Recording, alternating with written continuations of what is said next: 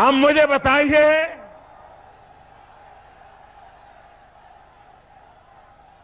ये महँगा सौदा दिल्ली का भला करेगा क्या? दिल्ली का भाग्य बदलेगा क्या? भाइयों, बहनों, एकाध बार झूठ चल जाता है।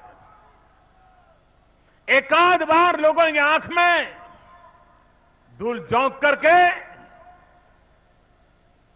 कुछ पाना सरल हो जाता है। लेकिन बार बार लोगों की आँख में धूल झोंक करके कोई सफलता प्राप्त नहीं कर सकता है। मैं दिल्ली वासियों का इस बात के लिए आभारी हूँ कि उन्होंने भारतीय जनता पार्टी पर जो भरोसा किया है, वो भरोसा बरकरार रहा है। पिछली बार डॉक्टर हर्षवर्धन जी के नेतृत्व में हम विधानसभा का चुनाव लड़ रहे थे। और मैं दिल्ली का आभारी हूँ। दिल्ली वासियों ने पिछली विधानसभा चुनाव में भारतीय जनता पार्टी पर भरोसा किया था और सबसे ज़्यादा सीटें भारतीय जनता पार्टी को दी थी। भाइयों बहनों, लेकिन सरकार बनाने में कुछ कम पड़ गई। भारतीय जनता पार्टी भी सौदेबाजी कर सकती थी। कुर्सी का खेल खेल सकती थी। लेकिन हमने वो रास्ता नहीं अपनाया। हमने कहा, हम भले सबसे बड़ी पार्टी चुनकर के आए हैं। दिल्ली की जनता ने हमको सर्वाधिक प्यार दिया है। लेकिन हमें सरकार चलाने का हक नहीं दिया है। और इसलिए हमने नम्रतापूर्वक हाथ जोड़ करके दिल्ली की जनता की माफ़ी मांगी थी। दिल्ली की जनता को बुरा लगा, उनको अपने आप पर बुरा लगा अरे हम बीजेपी वालों के पाँच सीट ज़्यादा दे देते तो उनकी सरकार बन जाती। ये जो कमी रह गई, उसकी कसक दिल्ली के दिल में रह गई। और जब लोकसभा का चुनाव आया तो ये दिल्ली की जनता ने उस कसक को ब्याज समेत समाप्त कर दिया और सातों दिल्ली में लोकसभा की सीटें दे दी और भारी बहुमत से दे दी। जिस प्रकार से दिल्ली की जनता ने विधानसभा के चुनाव में कमी रह गई थी, उस कमी को पूरा करने के लिए लोकसभा के चुनाव में ताकत दिखा दी। वही दिल्ली चुनाव में, वही दिल्ली चुनाव में, विधानसभा में दो तिहाई बहुमत के साथ भारतीय जनता पार्टी को स्थिर सरकार बनाने का अवसर देगी, ऐसा मुझे पूरा विश्वास है। दिल्ली को स्थिर सरकार चाहिए। दिल्ली को सरकार चलाने का तजुर्बा वाले लोग चाहिए। बहन किरण जी के नेतृत्व में, जिनको दिल्ली का चप्पा चप्पा पता है, जो दिल्ली के इतिहास से भी जुड़ी है, दिल्ली की भूगोल से भी जुड़ी हुई है, जिन्हें प्रशासन का अनुभव है, वो मज़बूत इरादे भी हैं और मज़बूत कंधे वाली भी महिला है। वे इस बोझ को उठा करके दिल्ली को नई ऊंचाइयों पर ले जाएगी, इसका मुझे पूरा विश्वास है। भाइयों बहनों, और मैं तो आपके लिए सेवक के रूप में हमेशा हमेशा आपकी सेवा के लिए हमेशा तत्पर हूँ। भाइयों बहनों, ये दिल्ली में पीने के पानी की समस्या हर हमेश परेशान करती रहती है कि नहीं करती रहती है? हमेशा ये चिंता रहती है कि नहीं रहती है कि हरियाणा पानी देगा या नहीं देगा? दिल्ली में कांग्रेस की सरकार, हरियाणा में कांग्रेस की सरकार, उसके बावजूद भी दिल्ली पानी के बिना तरसता था कि नहीं तरसता? वो दिन आपने देखे कि नहीं देखे? ये भारतीय जनता पार्टी की राजनीति देखिए। हमारे लिए राजनीति से ऊपर भी राष्ट्र नीति हुआ करती है, और इसलिए हरियाणा में बीजेपी की सरकार बनते ही वहाँ के मुख्यमंत्री ने दिल्ली की तरस मिटाने के लिए महत्वपूर्ण कदम उठाए और दिल्ली को पानी देना शुरू कर दिया। अच्छी सोच वाले लोग जब सरकार में होते हैं तो कैसे अच्छे परिणाम आते हैं, उसका एक सीधा सीधा उदाहरण है। भाइयों बहनों, हमारी सरकार ने एक महत्वपूर्ण काम उठाया। मैंने भ्रष्टाचार के खिलाफ एक बहुत बड़ी लड़ाई छेड़ी हुई है। लेकिन मैं बयानबाजी कम करता हूँ। लेकिन कदम एक के बाद ऐसे उठा रहा हूँ कि जिसके कारण भ्रष्टाचार की हर गतिविधि पर नकेल लग रही है। भारत सरकार गैस के सिलेंडर पर सब्सिडी देती है। वो सब्सिडी किसको जाती है? बीच में कहाँ जाती है? मलाई कौन खाता है? ये सारे सवाल बार बार उठते रहे हैं। क्या कोई उसका उपाय नहीं था? आज मैं गर्व के साथ कहता हूँ, हमने उपाय खोजा और तीन महीने के भीतर भीतर नौ करोड़ परिवारों में गैस सिलेंडर की सब्सिडी के पैसे सीधे सीधे उनके बैंक खाते में जमा करवा दिए।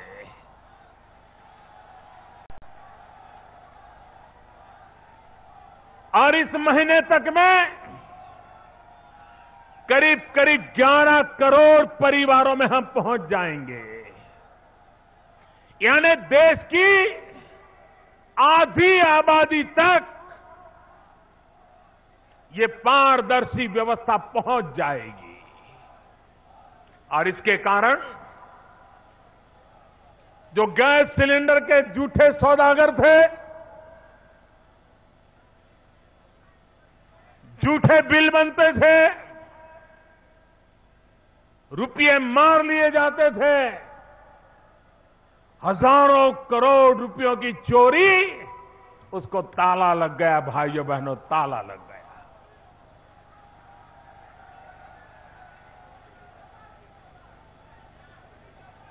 इतना ही नहीं भाइयों।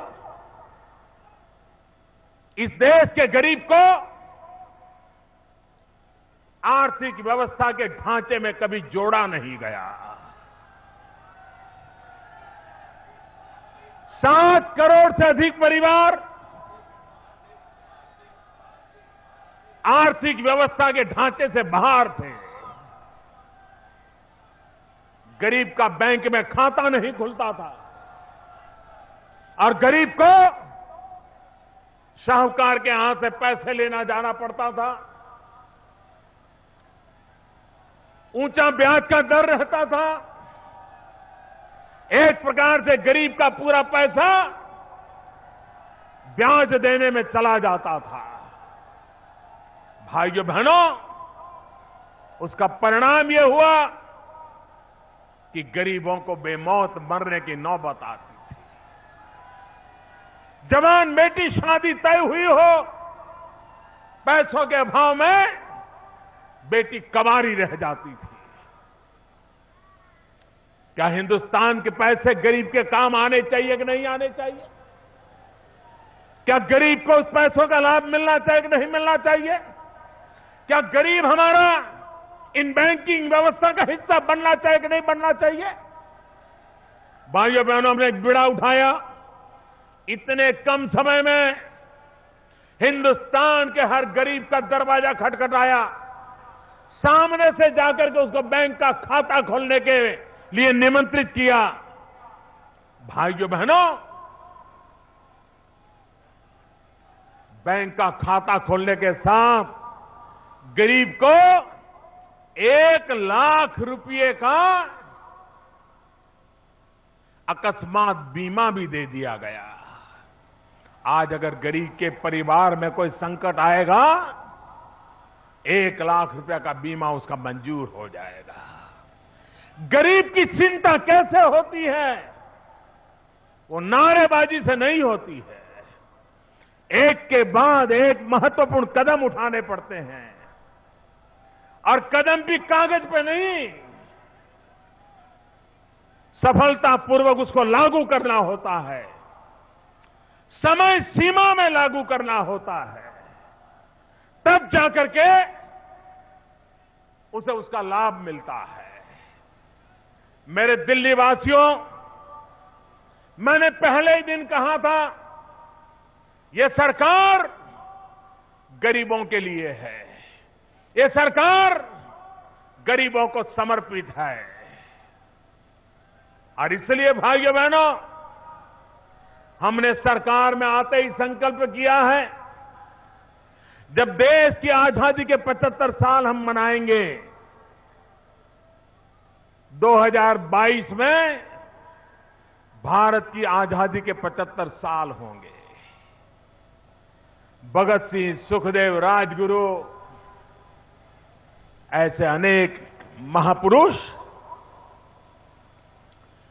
जो फांसी के तख्त पर चढ़ गए हमारी आज़ादी के लिए। महात्मा गांधी के नेतृत्व में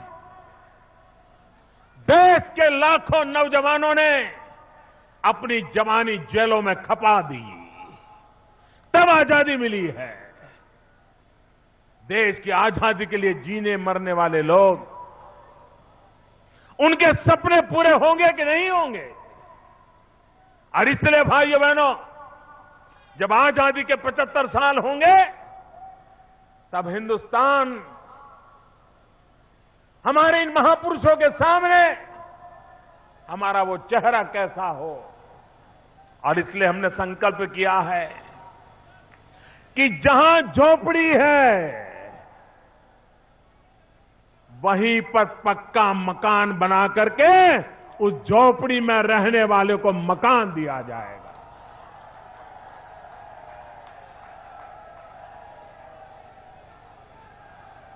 वो अच्छे पक्के मकान में रहे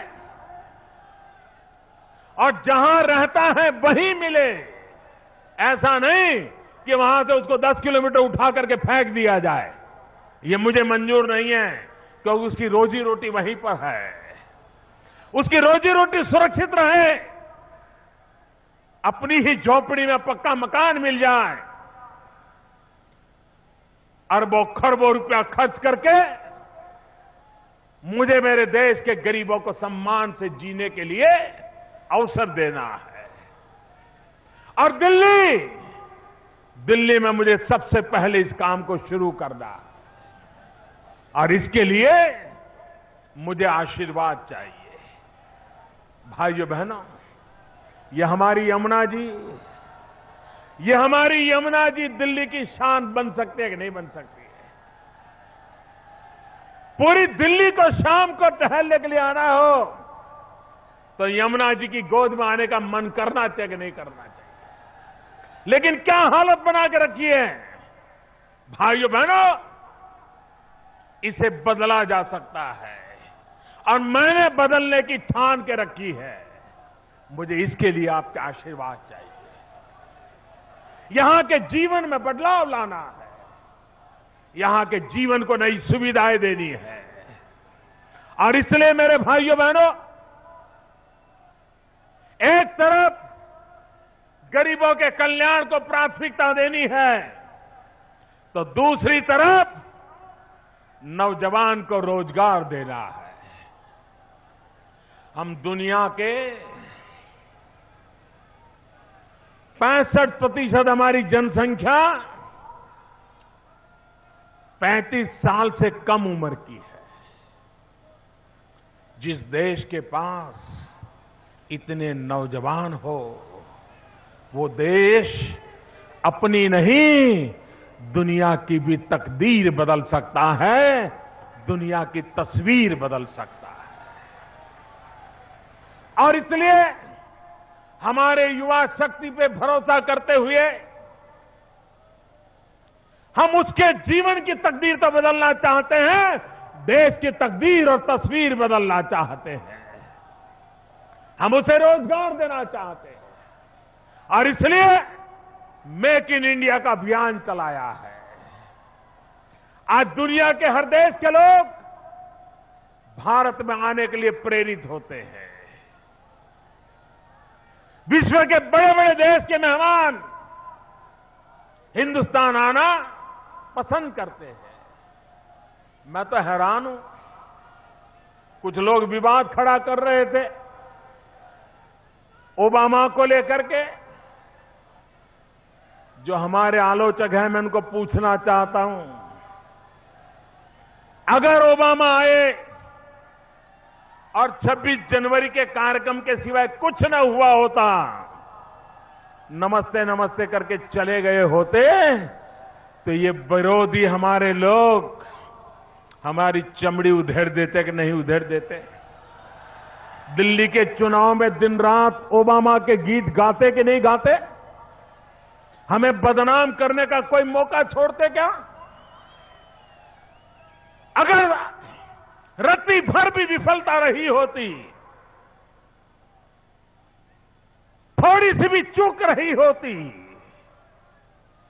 देश की आशा अपेक्षाओं से एक तसु भर भी कम रहा होता तो हमारे विरोधियों ने हमारे बाल नोच लिए होते।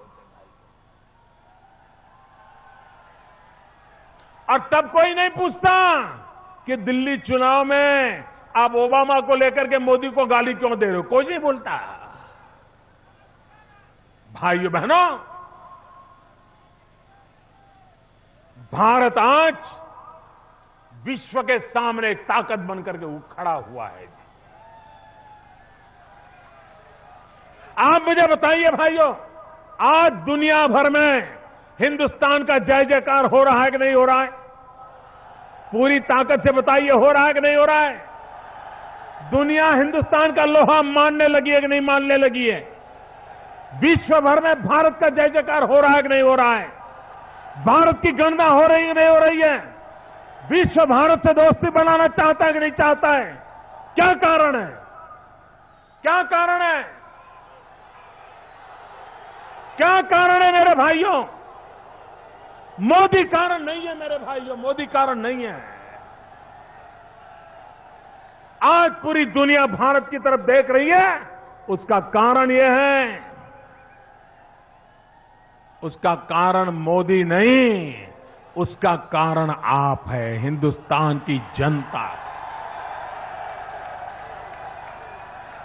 तीस साल के बाद आपने हिंदुस्तान में पूर्ण बहुमत वाली स्थिर सरकार बनाई है।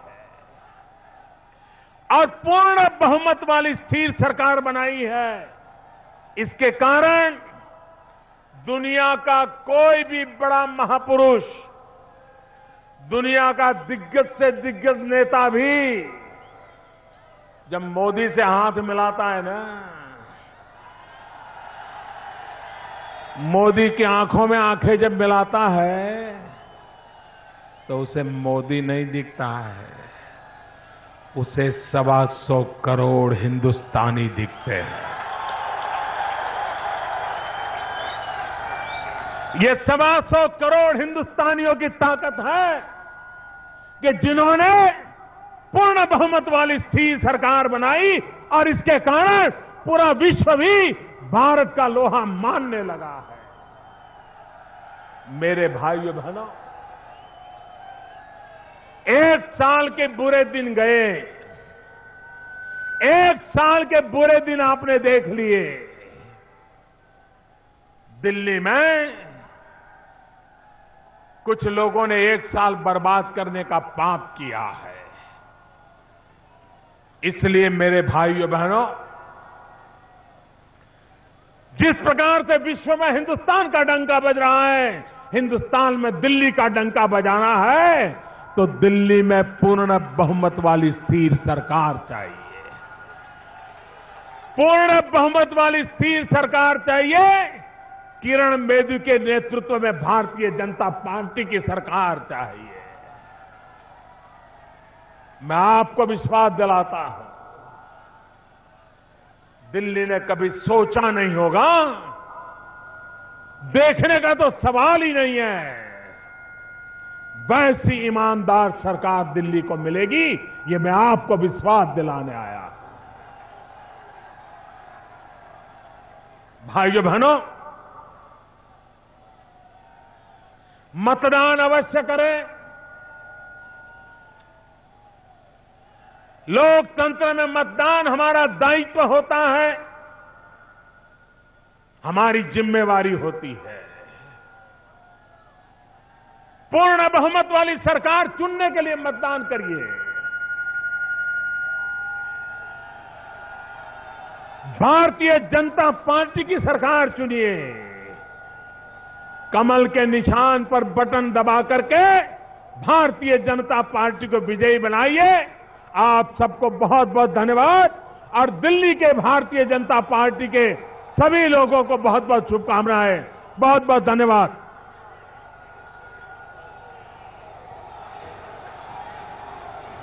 इस मंच की ओर से यहाँ पर आए हुए भारतीय जनता पार्टी के सभी कार्यकर्ता बंधुओं का हार्दिक अभिनंदन। हार्दिक वंदन है। तो दिल्ली के कटकड़डूमा से प्रधानमंत्री नरेंद्र मोदी ललकारते हुए और अरविंद केजरीवाल पर आम आदमी पार्टी पर इनडायरेक्टली ही सही, लेकिन निशाना ज़रूर साधा। एक साल की जो सरकार जिस तरह से रही है, उनचास दिन की केजरीवाल की सरकार और एक साल जिस तरह से दिल्ली ने झेला है, उसको याद दिलाते हुए। पूर्ण बहुमत की बात की और साथ ही उन्होंने कहा कि फरेबी जिस तरह से लोगों ने फरेब किया, झूठे वादे किए, उस पर भी प्रधानमंत्री नरेंद्र मोदी ने चुटकी ली। साथ ही साथ उन्होंने साफ़ तौर पर कहा, किरण बेदी पर उन्होंने विश्वास जताया और ये कहा कि किरण बेदी को दिल्ली के चप्पे चप्पे से वो वाकिफ है। दिल्ली का इतिहास और भूगोल वो अच्छी तरह से जानती हैं। प्रशासनिक उनकी खूबी के बारे में उन्होंने कहा कि प्रशासन का उन्हें तजुर्बा है। इसीलिए मज़बूत इरादे और मज़बूत कंधों वाली ये महिला है और उन्हीं के नेतृत्व में दिल्ली में चुनाव लड़ा जा रहा है। श्रीमती किरण बेदी, श्रीमती किरण बेदी, जय हिंद, जय भारत। वंदे वंदे।